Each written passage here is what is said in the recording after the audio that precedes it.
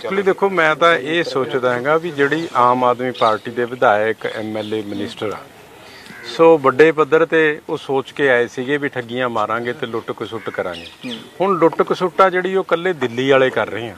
ਥੱਲੇ ਵਾਲਿਆਂ ਨੂੰ ਉਹ ਕਰਨ ਨਹੀਂ ਦਿੰਦੇ। ਜੇ ਕੋਈ ਕਰਦਾ ਹੈਗਾ, ਤੁਸੀਂ ਦੇਖੋ ਵੀ ਪਹਿਲਾਂ ਬਿਨਾਂ ਕਰੇ ਅੰਦਰ ਕਰਤਾ ਤੇ ਹੁਣ ਜਿਹਨੇ ਕਰਿਆ, ਉਹਨੂੰ ਬਚਾਉਣ ਦੇ ਉੱਤੇ ਲੱਗੇ ਹੋਈਆਂ ਸੋ ਐਮਐਲਏ 'ਚ ਬਹੁਤ ਸਾਰੀ ਰਜੈਂਟਮੈਂਟਾਂ ਕੁਝ ਜਿਹੜੀਆਂ ਗੱਲਾਂ ਕਰਕੇ ਸਰਕਾਰ ਆਈ, ਉਹ ਪੂਰੀਆਂ ਨਹੀਂ ਕਰ ਰਹੀਆਂ।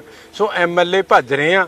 ਇਹਨਾਂ ਨੇ ਮੇਰੇ ਗੱਲ ਪਹਿਲਾਂ ਹੀ ਚੀਕ ਚਿਹਾਟ ਜੀ ਜਿਹੜੀ ਉਹ ਸ਼ੁਰੂ ਕਰਦੀ ਹੈਗੀ ਆ। ਪਰ ਚਲੋ ਕੁਝ ਵੀ ਹੋਏ, ਅਸੀਂ ਤਾਂ ਇਹ ਚਾਹੁੰਦੇ ਆ ਸਾਡੀ ਪਾਰਟੀ ਹੈ ਤੁਹਾਨੂੰ ਪਤਾ ਕਿ ਅਸੀਂ ਡੈਮੋਕ੍ਰੇਸੀ 'ਚ ਵਿਸ਼ਵਾਸ ਰੱਖਦੇ ਆ ਸੋ ਅਸੀਂ ਚਾਹੁੰਦੇ ਹਾਂ ਕਿ ਇਹਦਾ ਦੁੱਧ ਦਾ ਦੁੱਧ ਤੇ ਪਾਣੀ ਦਾ ਪਾਣੀ ਹੋਏ ਇਹਦੀ ਪ੍ਰੋਪਰ ਇਨਵੈਸਟੀਗੇਸ਼ਨ ਕਿਉਂਕਿ ਚੰਡੀਗੜ੍ਹ 'ਚ ਇਸ ਕਰਕੇ ਦਿਆ ਵੀ ਇਹ ਸਾਰੇ ਇਨਸੀਡੈਂਟ ਚੰਡੀਗੜ੍ਹ 'ਚ ਹੋ ਰਹੇ ਆ ਚੰਡੀਗੜ੍ਹ 'ਚ ਹੀ ਪ੍ਰੈਸ ਕਾਨਫਰੰਸਾਂ ਹੋ ਰਹੀਆਂ ਚੰਡੀਗੜ੍ਹ 'ਚ ਹੀ ਗੱਲਾਂ ਪਰ ਉਹਨਾਂ ਦੇ ਵਿਧਾਇਕ ਇਹ ਜਿਹੜੇ ਵੀ ਹੋ ਸਕਦਾ ਕਿ ਜਿੱਦਾਂ ਵਿਧਾਇਕ ਪਿਛਲੀ ਵਾਰ ਜਦੋਂ ਸਰਕਾਰ ਬਣੀ ਸੀ ਤੇ ਵਿਧਾਇਕ ਪਾਰਟੀਆਂ ਛੱਡ ਦੂਜੀ ਪਾਰਟੀਆਂ ਚਲੇ ਗਏ ਸੀ ਕਿ ਲੱਗਦਾ ਕਿ ਉਸ ਚੀਜ਼ ਤੋਂ ਬਚਣ ਕਰਕੇ ਜਾਂ ਉਸ ਦਾ ਇਲਜ਼ਾਮ ਭਾਜਪਾ ਤੇ ਪਾਣ ਕਰਕੇ ਇਹ ਸਟੰਟ ਹੋ ਸਕਦਾ?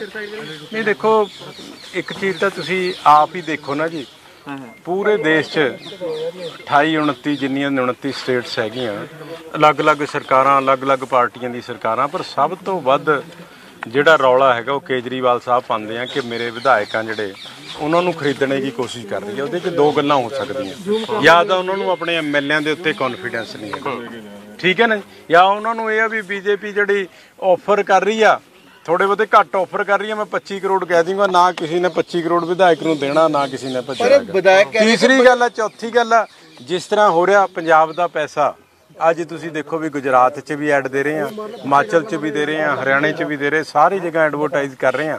ਸੋ ਇਹ ਪੋਲੀਟੀਕਲੀ ਪਪੂਲਰ ਹੋਣ ਵਾਸਤੇ ਜਿੱਥੇ ਜਿੱਥੇ ਇਹਨਾਂ ਦੀ ਸਰਕਾਰ ਬਣੀ ਆ ਉਹਨਾਂ ਤੋਂ ਇਸ ਤਰ੍ਹਾਂ ਦੀ ਪ੍ਰੈਸ ਕਾਨਫਰੰਸਾਂ ਕਰਵਾ ਕੇ ਆਪਣੇ ਆਪ ਨੂੰ ਪਪੂਲਰ ਕਰਨਾ ਚਾਹੁੰਦੇ ਹੈ ਕਿ ਆਮ ਆਦਮੀ ਪਾਰਟੀ ਕਾਂਗਰਸ ਦਾ ਆਰੋਪ ਲਾਈ ਰਹੀ ਹੈ ਕਿ ਭਾਜਪਾ ਦਾ ਸਾਥ ਦੇ ਰਹੀ ਕਿਸੇ ਮਜਬੂਰੀਆਂ 'ਚ। ਕਿ ਤੁਹਾਡੇ ਦੇ ਵੀ ਆਰੋਪ ਨਾਲ ਲਾ ਦੇਣ ਕਿ ਪਰਾਂ ਨੇ ਭਾਈਵਾਲਾਂ ਦਾ ਸਾਥ ਦੇ ਦਿੱਤਾ ਜਾ ਰਿਹਾ। ਮੈਂ ਅਸੀਂ ਤਾਂ ਕਲੀਅਰ ਕੱਟ ਕਹਿ ਰਹੇ ਹਾਂ ਵੀ ਜੇ ਬਾਜਪਾ ਦੇ ਸੋਰਸਸ ਬਾਜ ਜਿਹੜੇ ਇਹਨਾਂ ਨੂੰ ਫੋਨ ਆਏ ਆ ਜੇ ਸੱਚੀ ਗੱਲ ਆ, ਉਹਨਾਂ 'ਤੇ ਪਰਚਾ ਦਰਜ ਕਰਕੇ ਕਾਰਵਾਈ ਹੋਣੀ ਚਾਹੀਦੀ ਆ।